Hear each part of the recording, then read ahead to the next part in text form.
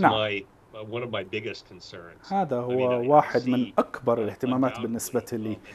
آه، أنا أرى تصعيدا بالتأكيد في الشمال وهذا يمكن أن يتفاقم بسرعة ولكن أعتقد في الضفة الغربية هنالك بعض الوزراء الإسرائيليين الذين يستفزونهم بشكل كبير.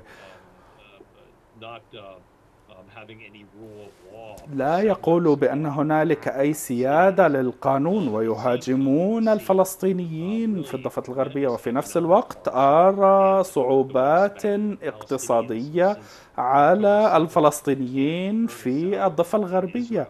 من 7 أكتوبر لم يحصل الفلسطينيين على رواتب في إسرائيل. أرى اقتصادا مكتئبا ومتدمرا. وأرى الكثير من الأشخاص الذين يقلقون من الأمور التي تحدث في غزة وتداعيات عليهم. وأرى حماس تجند وتعمل آه، مع آه، آه، كتائب الأقصى لهذه الهجمات. وأنا أرى عمليات إسرائيلية لمكافحة الإرهاب بصورة يومية.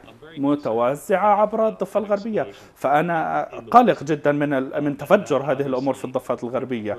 وهذا بالتأكيد سوف يعقد الأمور أكثر للإسرائيليين ولقوات الدفاع الإسرائيلي والتي يمكن أن تنخرط في حرب في حرب في الشمال قريبا ويصبح لديها آه، هجمات من الضفة الغربية. أو إذا تفجر الوضع في الضفة الغربية تصبح مشكلة كبيرة.